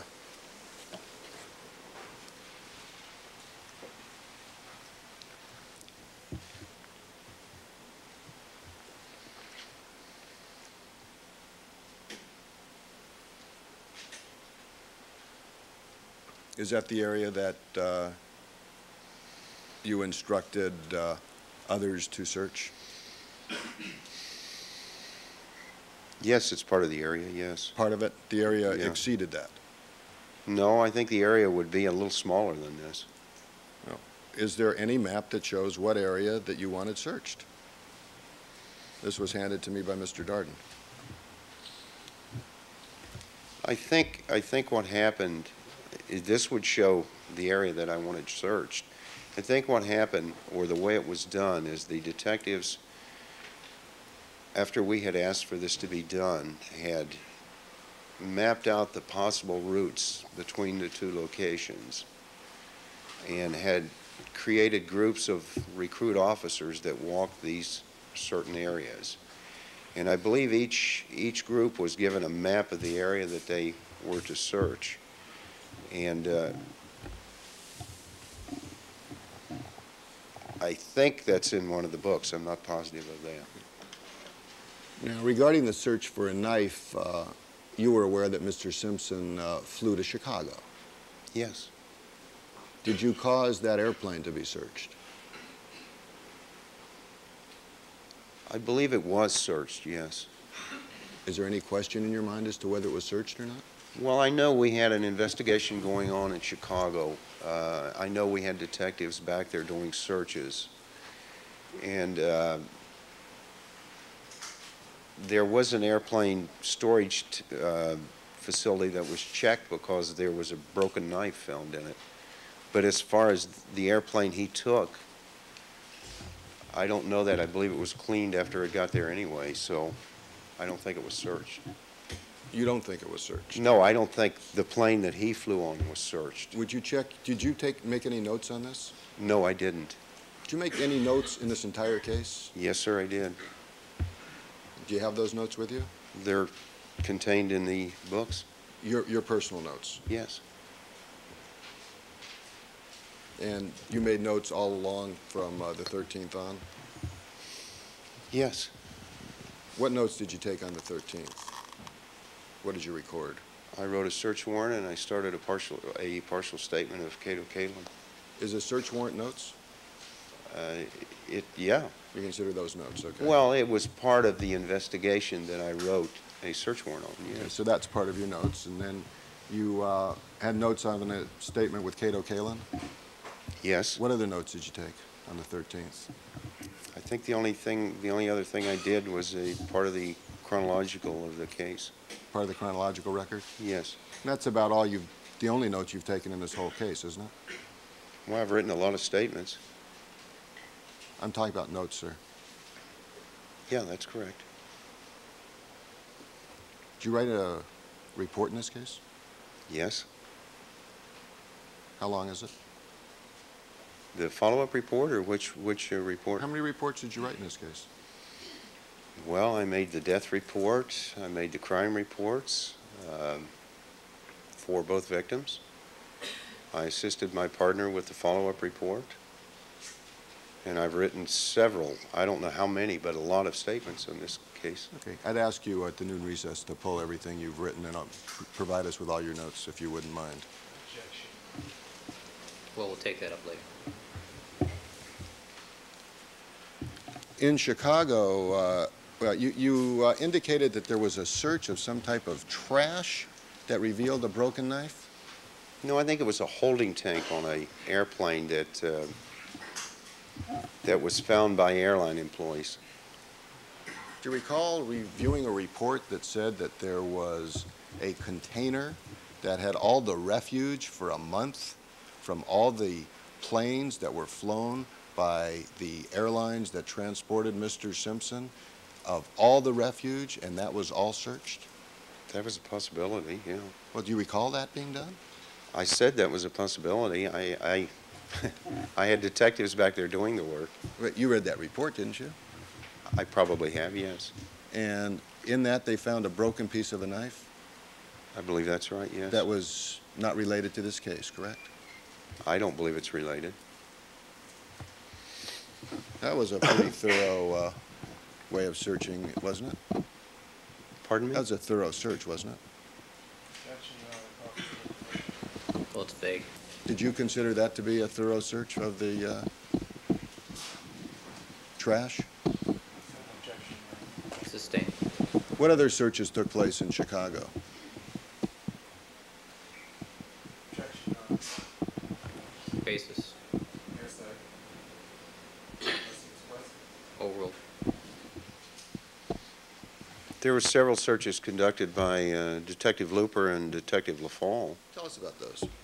I wasn't there, I can't tell you about them. Uh, You've read reports about those, and they're part of your investigation, aren't they? I've read notes on them, yes. Things you've reviewed.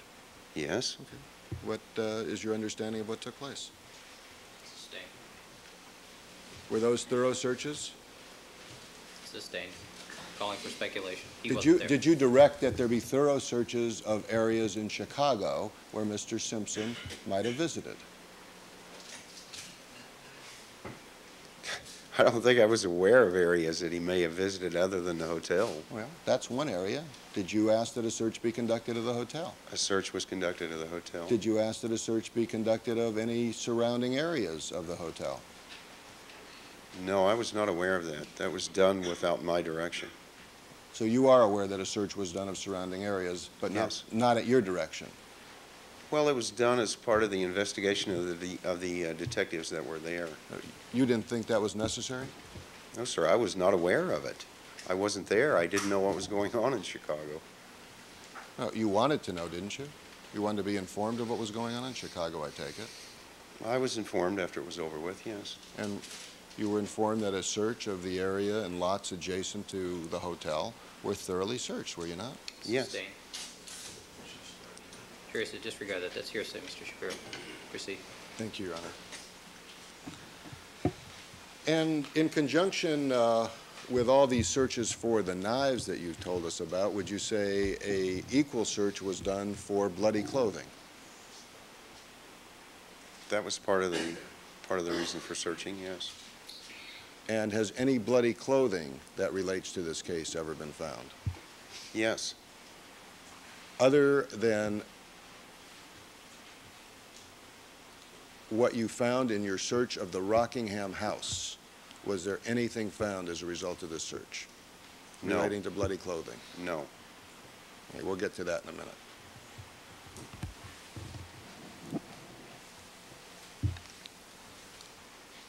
Have you had enough uh, resources to look for bloody clothing? The same resources that I had to look for the murder weapon. When you got your call at about 3 o'clock, uh, you were at home That's correct, yes. on June the 12th, June 13th, early June morning. 13th, Early morning of June 13th. What area uh, do you reside in? I don't want to know specifically, but what general area? Objection, irrelevant, Your Honor. Sustained. How long did it take you to get from where you were to uh, the Bundy location?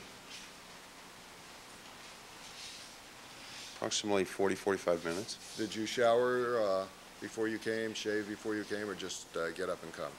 I showered and shaved. Did anyone give you directions to get to Bundy, or did you know how to get there?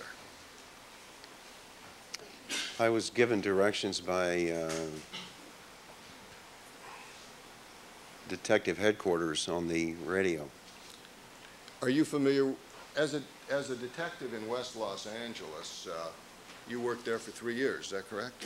Yes, And part of the requirements of a detective is to become familiar with the area that you're working, isn't that correct? well, I think that's for any police officer, yes. And that was, uh, that applied to you also.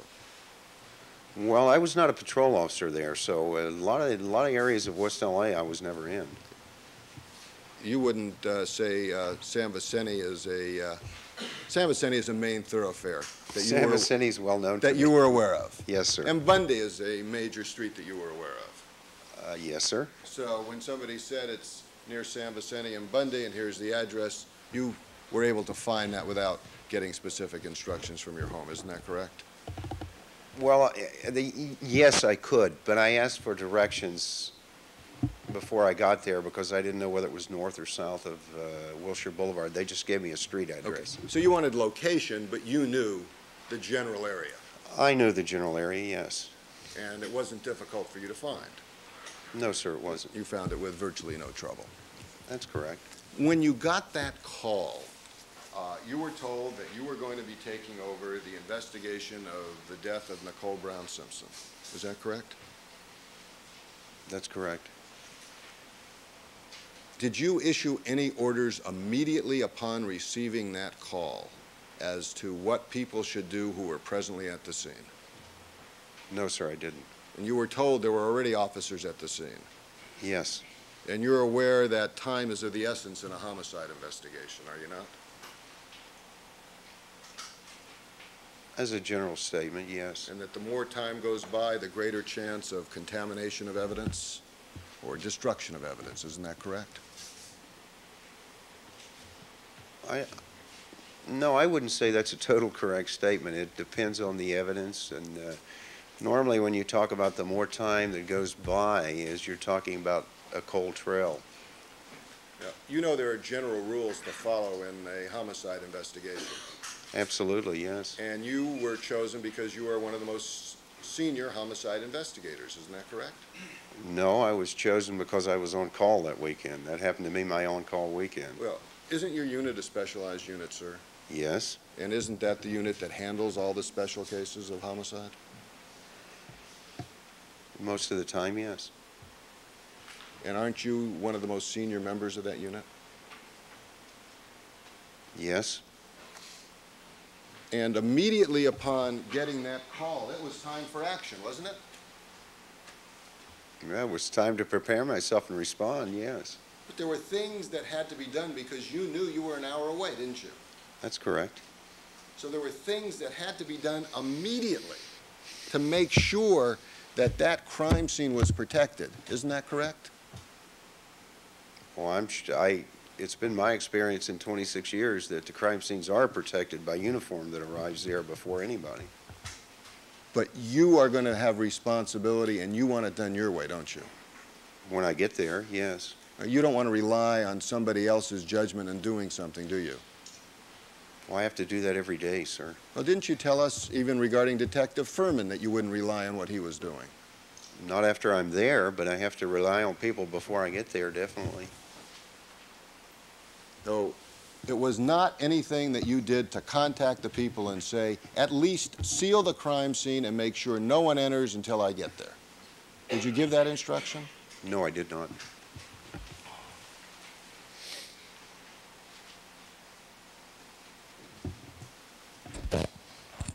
In your uh, training as a police officer and homicide detective, you have learned that it's important to keep detailed notes of an investigation, have you not?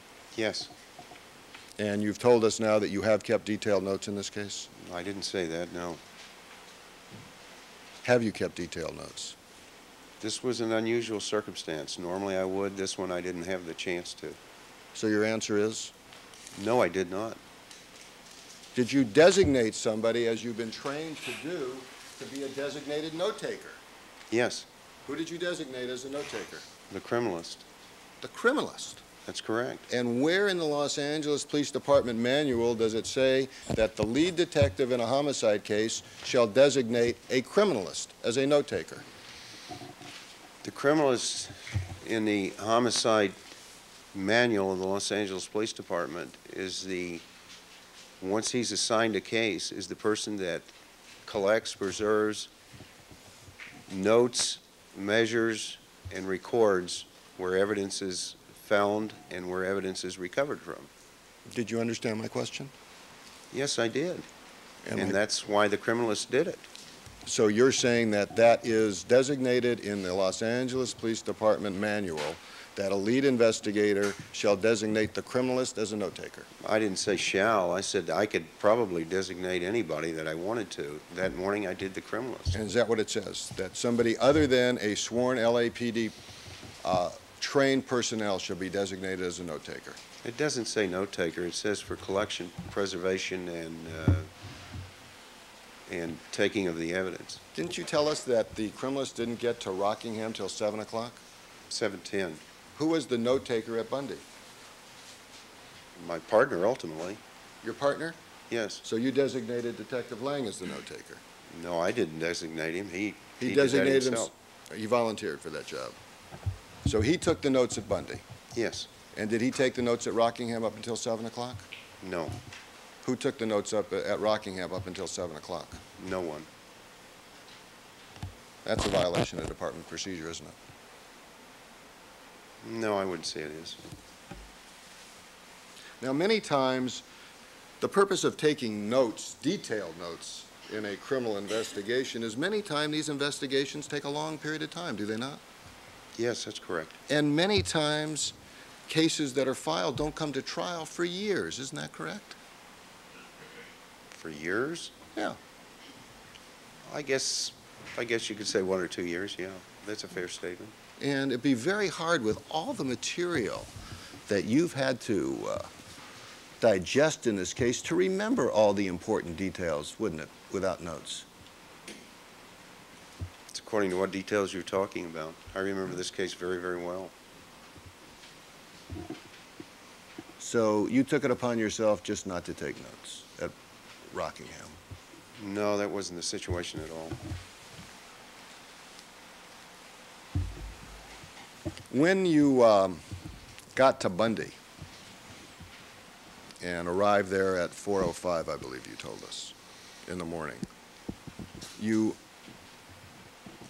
were now in charge of the situation for one hour. Is that correct?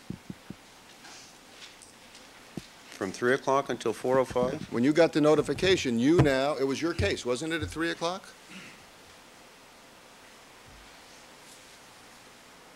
I guess you could hypothetically say that, yes. I don't want to guess. I want to know. I think the jury wants to know more importantly. Whose case was it at 3 o'clock in the morning? It wasn't my case until I arrived there and was instructed by my supervisor that we were taking the case So your, your case didn't begin until when? till 4:05. Okay. Whose case was it from 3 o'clock to 4:05? It was being secured for the arrival of robbery homicide division. Whose case was it from 3 o'clock to 4:05, sir? Robbery homicide division. That's you.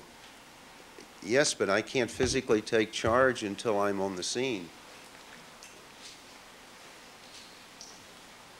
So for at least an hour and five minutes, there is nobody in charge of the Bundy crime scene? Where That's- two bloody murders have taken place? That's not true. Well, who was in charge? West Los Angeles Division had security on the crime scene. So they were in charge of the investigation at that time? No, they were in charge of securing the crime scene at that time. So what you're saying is for an hour and five minutes, nobody investigated Bundy, That's correct. when time is of the essence in a homicide investigation? Boy, it would be a perfect world if I could have been there at uh, 10, 10, uh, 30. It would have been a perfect world.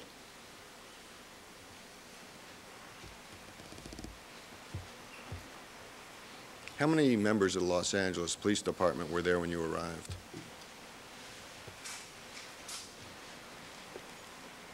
Approximately 15. All standing around, That's correct, yes. with two people who have had their throats slashed. Is that correct? Yes. Nobody is looking for any suspects?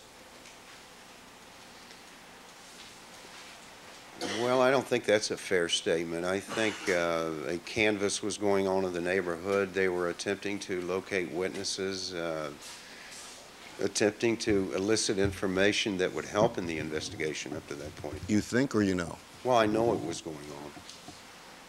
What about uh, beginning the crime scene investigation? That hour and five minutes, could important evidence become destroyed? Sustain. What could happen to evidence in your estimation in the period of an hour and five minutes in a case like this? Sustain. Does, do you have any experience in evidence degrading? Do you know what that term means, degrading of evidence? Yes, I do. What does it mean? That's the, the quality of the evidence itself begins to deteriorate. That could happen immediately upon, for instance, blood evidence striking pavement. That could start immediately.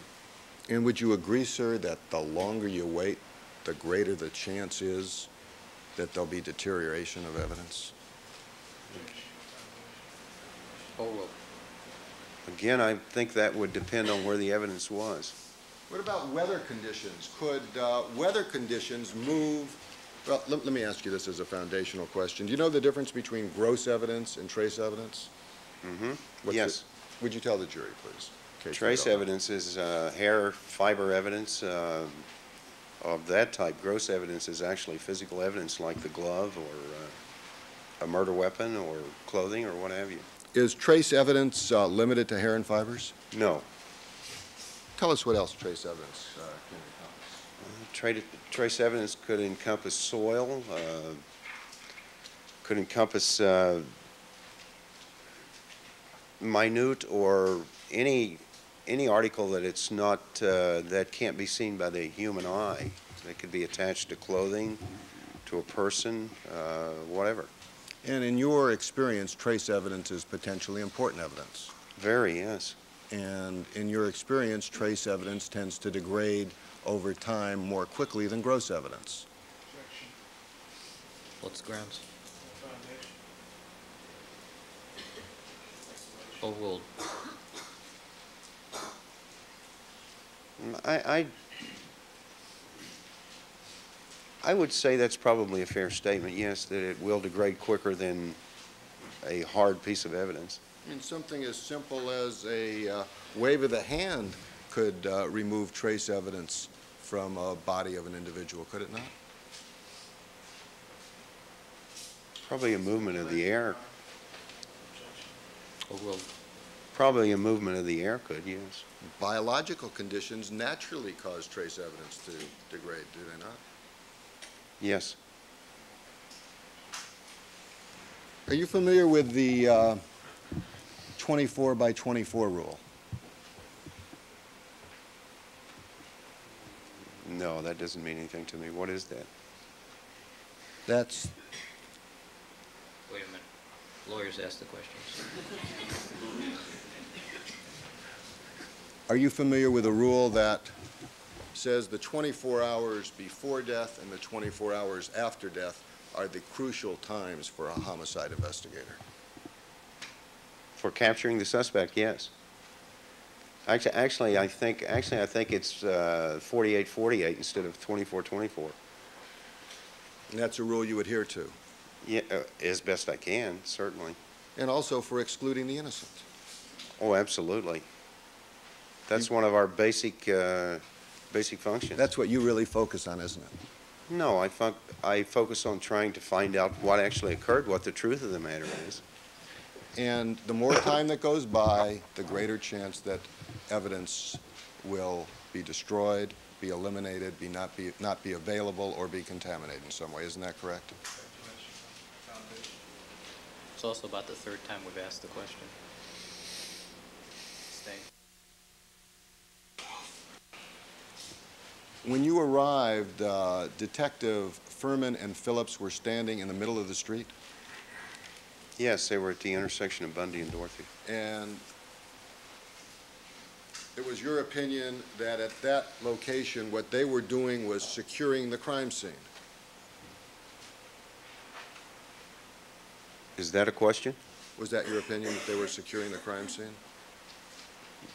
No, they were not securing the crime scene. Were they preserving the integrity of the crime scene by standing out No, they weren't. What were they doing? They were awaiting our arrival. Were there things, as a trained homicide investigator, if you were relieved from a case, would you have some responsibility until your replacement showed up? Yes, What was that responsibility? To attempt to elicit any witnesses in the area and maintain control of the crime scene until the handling uh, detectives arrive. So now, the only two homicide detectives there, Detective Phillips and Detective Fuhrman, are not trying to elicit testimony from anybody, are they? That was being done by uniform. I'm saying they were there. They weren't trying to do that as detectives, were they? Elicit testimony? Elicit statements from potential witnesses. No, I believe they testified they stood in the street and waited for us.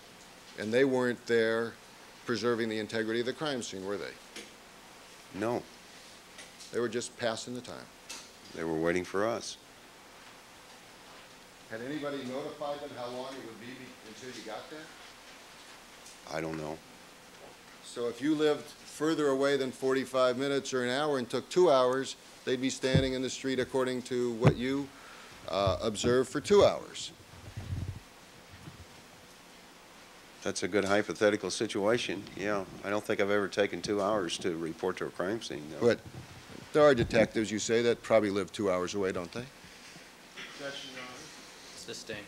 Chair Rello. How many people had been inside the crime scene before you got there? Oh, well, calls speculation, though, if you want. I'm sorry? Calls for speculation. Did you, are there any records to indicate how many uh, officers had been at the crime scene before you got there? Had been at or in the crime scene. At the crime scene. Yeah, there's a log.